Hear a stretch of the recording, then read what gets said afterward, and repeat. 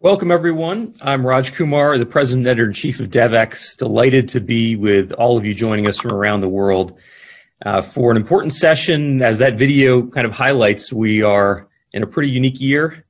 Um, if this pandemic and what's happened this past year hasn't shaken your way of thinking, I think there's no hope.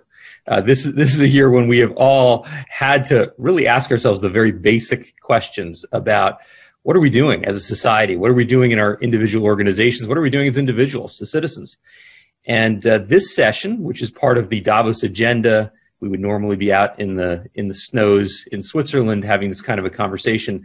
But this session is, as is typical at Davos, an opportunity to look a little bit ahead of the curve, a little bit around the bend to see what's coming. And the, the title says it all: collateral health damage. I think it's something that all of us know pretty viscerally in our own lives. I mean, how many of us have delayed a routine medical checkup or have a family member who has had to make decisions about an elective surgery? And imagine the millions of people around the world who might have had transportation disruptions or medical centers that were closed. So we know that there have been real disruptions. The statistic is 90% disruptions to medical services around the world. What we're going to talk about today is what does that actually mean? What are the health consequences of that? And then how do you get past it? How do we get past what might be a coming and significant health challenge beyond COVID? This is the collateral damage of COVID. This is a session that is designed uh, in an interesting way to bring in the public. So it's open. People from around the world are joining us for the first 30 minutes of the conversation. Uh, we will then bid adieu to that group and we will just focus on the forum members in order to open it up to a more interactive conversation. So forum members are invited to stay all the way through for the full hour. The second part of the session, we we will have you turn on your cameras and your microphones and really join the conversation. So so I welcome all of the forum members who are here. Uh, maybe like uh, like me, you're in a place where there's some snow today, and it makes you think of being in Davos. In fact, uh, although we, we are doing this virtually. So welcome to everyone. I, I want to mention, as is befitting for a, a Davos Agenda event, we have an all-star panel. Um, we're joined by Michelle Williams, who's the Dean of the Faculty at the Harvard T.H. Chan School of Public Health. We have Peter Sands, the executive director of the Global Fund to fight AIDS, tuberculosis, and malaria. Michelle Mitchell, who is the chief executive officer of Cancer Research UK, and Charles Gore, the executive director of Medicines Patent Pool. We'll be hearing from all of them in what I hope is a rich and dynamic discussion. And I invite all of you who are who are following along to put your thoughts, ideas, questions into the chat and, and try to join us in this discussion as, as we go forward. I also just want to mention before we begin the conversation that the work today that we're doing as a, as a group here does connect to specific initiatives of the World Economic Forum. There, there are two in particular I want to highlight that you'll hear more about as we go. Um, there is the, uh, the, the, forum in, a, in collaboration with the Lung Ambition Alliance is today launching a report called Learning Lessons from Across Europe, Prioritizing Lung Cancer After COVID-19. Obviously, lung health is something very much in people's minds given the pandemic. So we're going to be hearing more about, about that today, about lung cancer and how we improve resiliency around those services. And the forum is also in partnership with the WHO and, and other partners in the healthcare industry and, and patient groups and funders to launch a hepatitis elimination partnership. And the idea is to eliminate viral hepatitis B and C by 2030. And so you'll be hearing more about that today and how that connects to this broader idea of collateral health damage. So with that, I just want to begin our conversation. And I, I want to ask uh, Michelle Williams, uh, who's with us, again, the Dean of the, of the faculty at the Harvard T.H. Chan School of Public Health, to kind of give us the, the lay of the land here on this idea of collateral health damage. Um, what do you see broadly as the impact from people having their health services interrupted due to the focus on the pandemic, due to the lockdowns and shutdowns and other disruptions? What are you seeing out there in the, in the broader health landscape? Um, thanks, Raj. It's a pleasure to join you and our esteemed colleagues on this panel. And I'll start you know, by answering your question in ways that I think will be quite somber because uh, that, that is really where we are and what we're seeing. Um, COVID 19 has had a profound impact on every aspect of our lives. Um, biological, economic, and social disruptions have been devastating. Um, in addition to the dramatic loss of human life worldwide, we have seen unprecedented challenges to our public health infrastructure and systems. We've seen our health systems um, crushed um, by the massive uh, volume of critically ill patients needing care. Our food systems have been channel, uh, challenged in ways that even in wealthy countries uh, like the US, we are seeing um, unprecedented levels of food insecurity. Um, and housing insecurity um, are increasingly at astronomical levels. So, on a macro public health, uh, global health security agenda, we are seeing um, devastating impacts. Um, and this is being evidenced by, you know, observing gains that we were making in the Sustainable Development Goals, for example, where the UN now are finding reversals um, on the gains that we were making uh, globally in the area of poverty, education, and healthcare.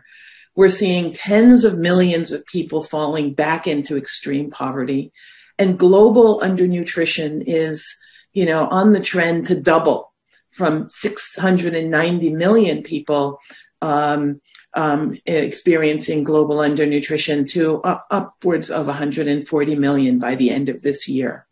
And additionally, health disparities um, pre-existing prior to COVID are becoming more pronounced, and the vulnerable are um, increasingly more vulnerable. And I would say one last point, and that is the mental health challenges that we are facing are at unprecedented levels and are likely to persist long after we begin to emerge uh, from the pandemic. So I would say there are threats to our health systems that are really going to challenge our cancer control and prevention work, as well as our work on eliminating um, and attenuating viral hepatitis. And I'll stop there.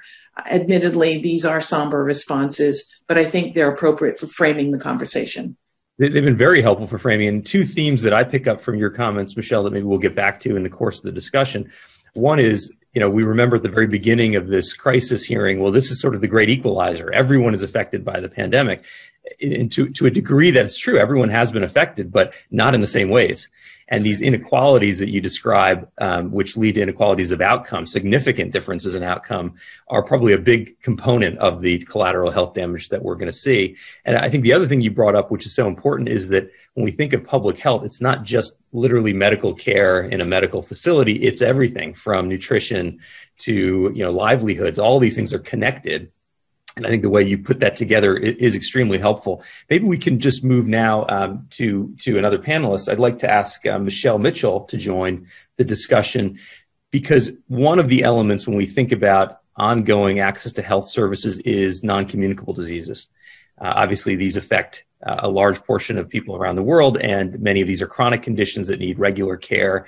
Uh, we are today quite focused on lung cancer in addition to that. So I'd just like to get your take on where do non-communicable diseases specifically fit in when we think of the collateral damage to health from COVID? Thanks, Raj, and uh, great to be here with you, the panel, and our guests. And Michelle painted a very somber picture, but a very realistic and true picture of the impact of COVID. So I would just want to take the opportunity to drill down a little and talk about what's happening in the UK and particularly in relation to what's happening with lung cancer. As Michelle said, um, health services across the board have been significantly impacted by COVID. And in the first wave of the pandemic, uh, cancer services were very hard hit. Screening paused, treatments postponed, fewer people coming forward with signs and symptoms. And right now, COVID cases are very high in the UK. Cancer treatments have been better protected this time, but there is some serious disruption. Uh, and of course, this is a time of great worry for cancer patients, uh, whether you have lung cancer or other types of cancer, knowing and understanding whether the services and treatment will be available for them. Look, the specific picture to give you a sense uh, of lung cancer, between March and November last year, we saw a 34% drop. That's 6,800 people um, who uh, weren't referred for lung cancer in England. That was mainly due to them not coming forward and contacting their doctors about worrying symptoms. And 25% uh, fewer patients started treatment compared to the previous year. And today, the numbers of people presenting with symptoms of lung cancer is still lower uh, than before the pandemic. And even if they are referred, it's very difficult to get patients through the system and get respiratory symptoms investigated so they can start treatments quickly. And why this matters, I mean, it matters a huge amount generally, but also specifically because we know people have a much better prognosis when diagnosed early. A person diagnosed with stage four lung cancer has a 15% chance of surviving um, uh, one year compared to now listen to this compared to 80% if detected at stage one so uh, early diagnosis really, really matters in lung cancer. We've also seen here in the UK a big impact on clinical trials. Most were postponed uh, as COVID trials got up and running, and unfortunately, this has meant that uh, thousands of patients have missed out on the opportunity to take part in, you know, potentially uh, life-saving cancer research and cancer trials. This is partly recovered over the summer and autumn, but not anywhere near as much as we would hope. So we're saying, and our understanding is, it's too early to know the impact yet, based on um, uh, the current data. You know, particularly impact around uh, survival with cancer, but. Uh, unfortunately, we do expect there to be a huge impact. Um, and that's why we completely support the recommendations uh, of the task force, which I think we're going to get onto later, which will be in central elements of getting cancer services back up and running here in the UK. And there's lessons for countries across Western Europe and beyond. Yeah, it sounds like it's too early now, but what you're anticipating is at some point, maybe later this year, that you will see a spike in people who do present with symptoms, but they're much further in the progression of their disease much harder to treat as a result. Is that is that fair to say? Is this a, a 2021 issue, a second half of the year issue as you look at it? Well, I think as we look towards uh, you know mid to end of 2021, we'll potentially be seeing signs of uh, people who have died because they haven't had the treatment, who present later in their. Uh, that means the stage of uh, presentation reduces their uh, survival rates. So um, that would be a big problem. You know, we've talked about how important it is to be diagnosed early. And of course, a number of the treatments available will be harsher as well the later you get them. So it's going to have a big impact uh, potentially on mortality, on the stage in which people are diagnosed, the treatments they have, and of course, drawing it back out to the broader point Michelle made around inequality.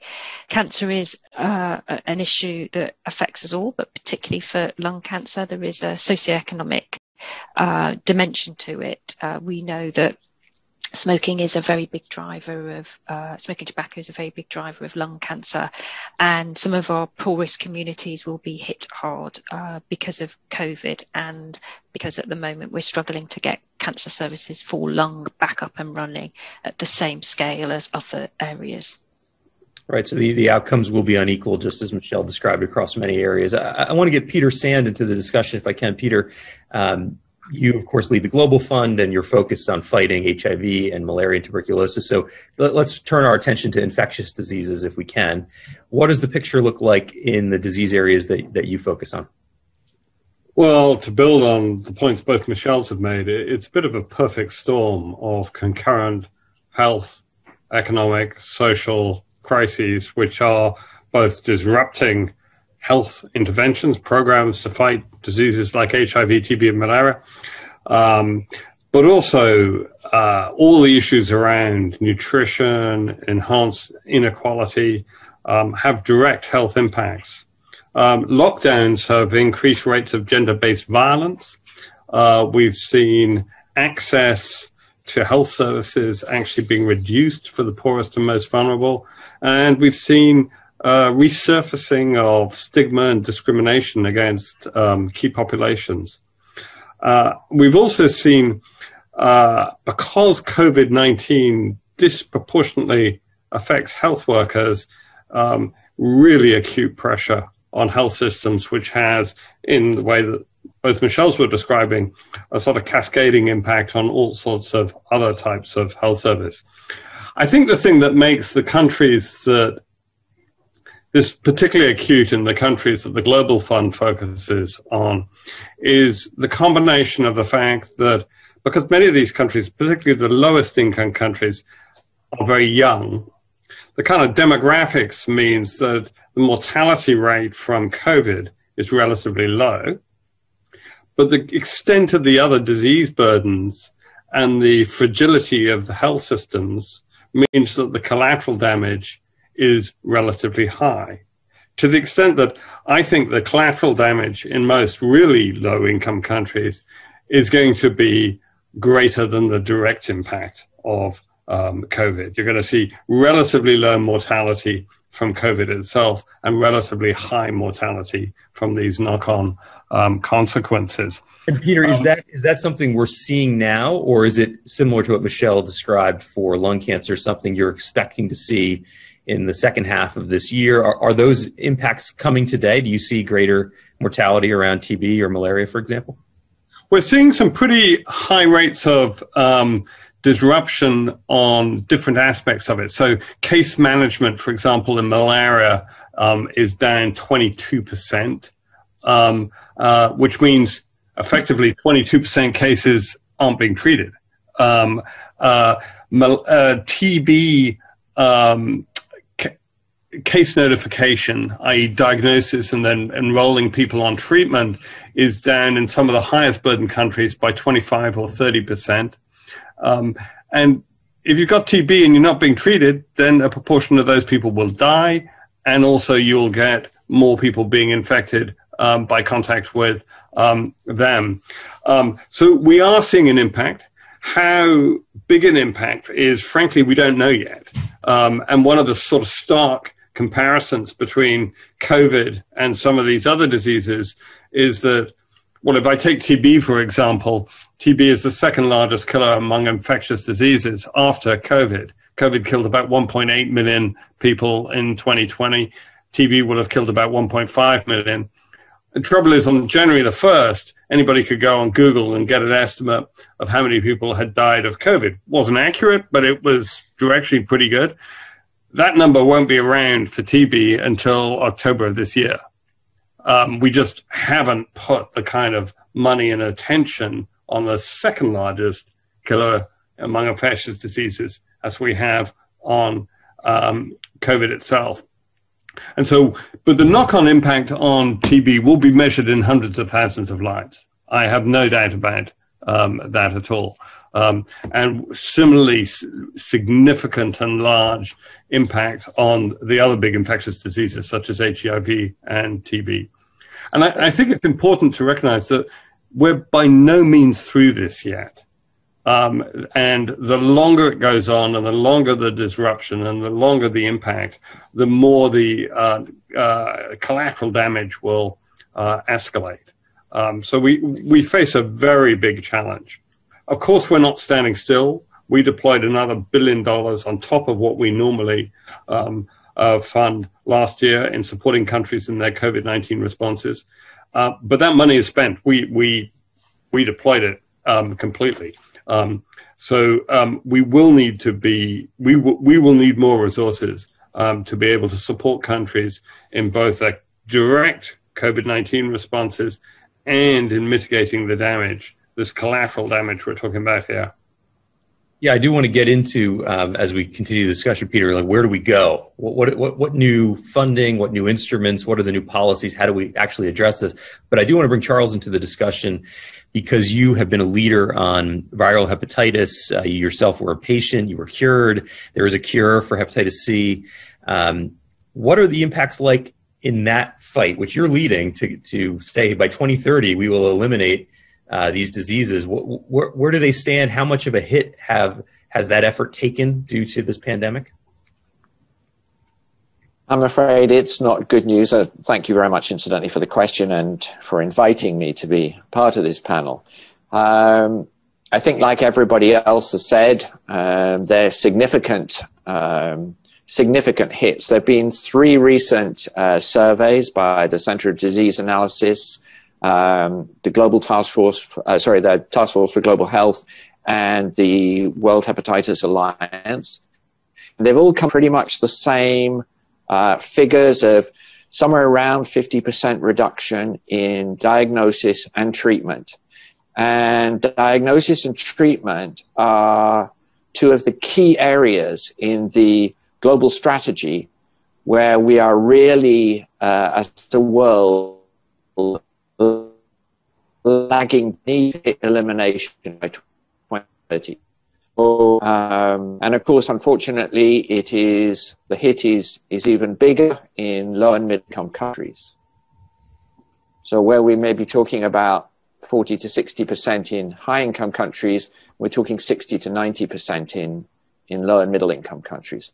So again, it's the, the same picture of a lot of um, a lot of collateral damage so far, and there's an estimate that a one year hiatus in uh, global progress, sorry, in national programs for uh, hepatitis elimination will lead to an extra 45,000 uh, liver cancers and 72,000 deaths uh, by 2030. So this is only modeling, and we'll have to wait to see if that bears out, but it's uh, not very encouraging.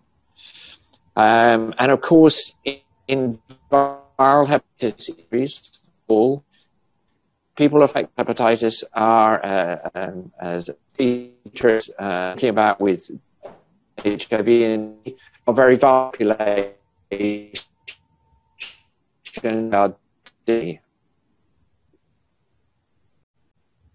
Well, I, I, want to thank you for that, Charles, and I want to be, kind of move our conversation in the direction of where do we go from here.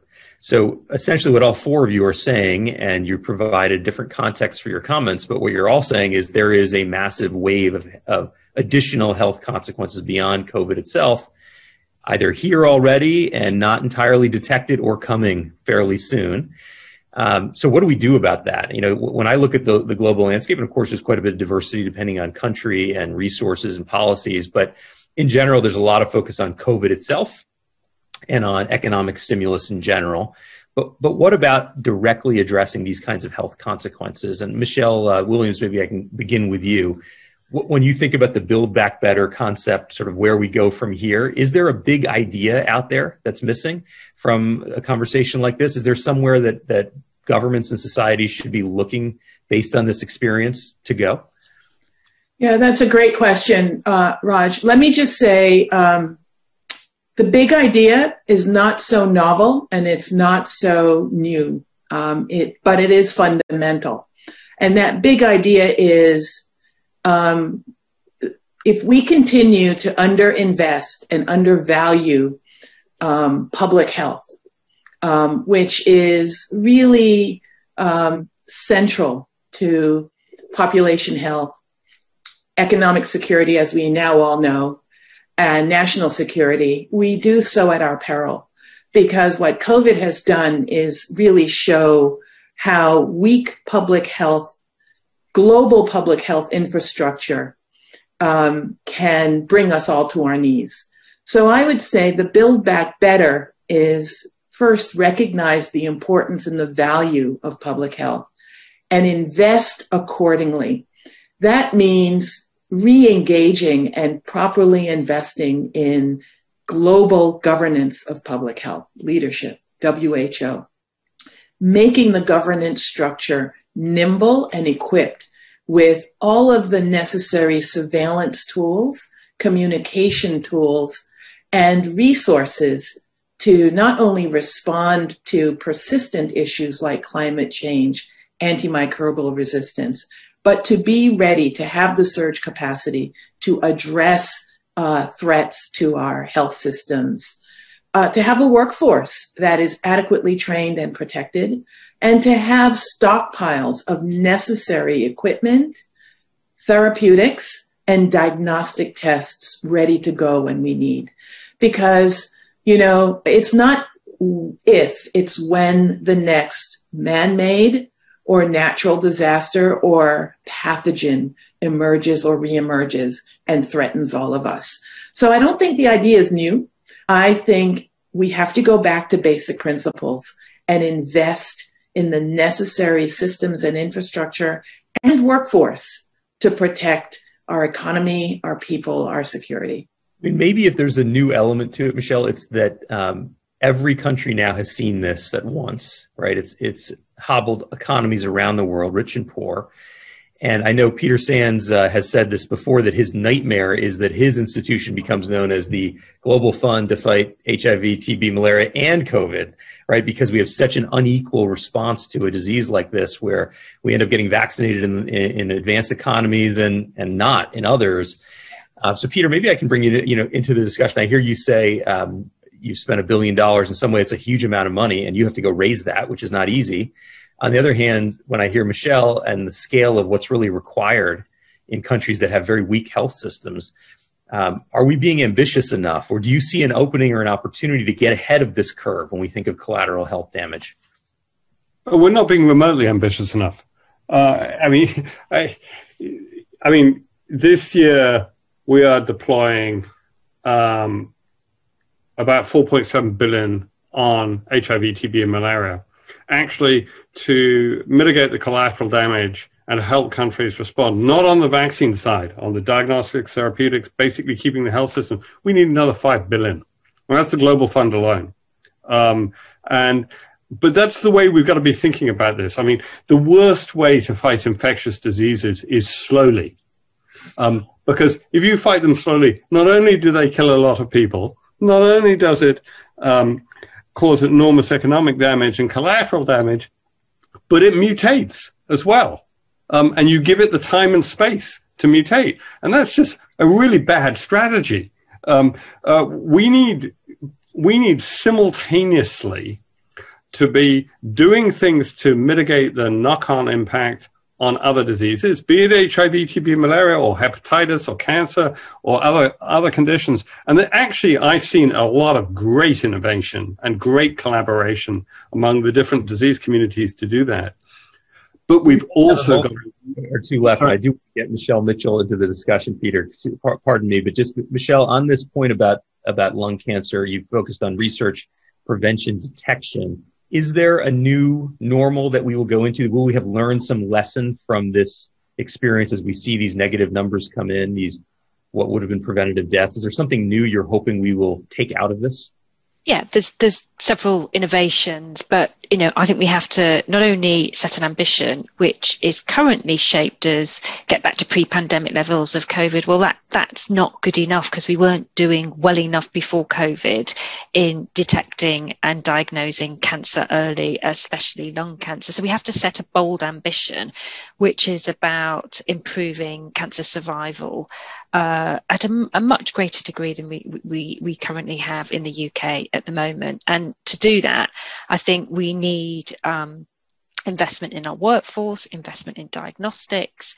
Uh, we need the public to be confident about coming forward with signs and symptoms, but we also need to pull the benefits of new technologies and innovations that are out there at the moment. We're, we're working on the crest of a wave. So we're increasingly uh, funding excellent early detection research, bringing disciplines together and forging partnerships that will consolidate uh, expertise, whether that's a transatlantic partnership we have the International Alliance for Cancer Early Detection, which is fantastic in bringing translational work together, or also funding research in new areas, for example, liquid biopsies, blood tests, tests which could detect cancer early through circulating tumor, tumor DNA, which is, is very strong in Manchester, led by a, a professor called Caroline Dive. So, research innovation can transform the system in the future, and we've got to transform the health system through these innovations, but also uh, I think governments and health systems have to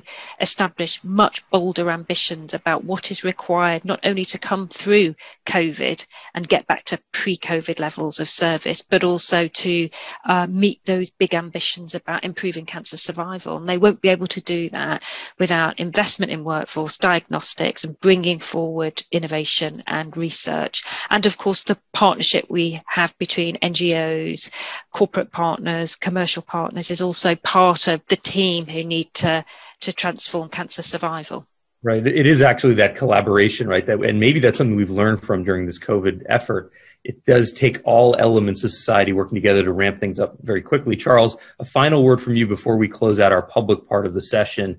Um, again, on on what you've learned from this process, sort of where we go from here. You have a big ambition. You set out 2030 to eliminate viral hepatitis. I mean, I just think that we have to have a different approach to health globally. We've got to stop thinking of health as a cost and thinking it as a key investment pillar. And I think COVID has shown why that is so important. If you don't have health, you have these mammoths across all areas. And there are too many countries still that do not devote enough budget to their health system. And, you know, we, we heard from Michelle Williams about the kind of investment we need. That's a lot more spending to put public health on that kind of footing. And so it's a mindset change that we need in order to do this. But I think maybe COVID will make us do that. At least that's what I'm hoping. Well, let's use that mindset shift as maybe a, starting off point as we enter our private session. So I, I want to I want to say thank you to everyone who's been joining us from around the world for the public session. Uh, we really appreciate your participation in this event. I want to thank the panelists. I know if we were in person, there would be roarous applause for this group and all their great insights. So thank you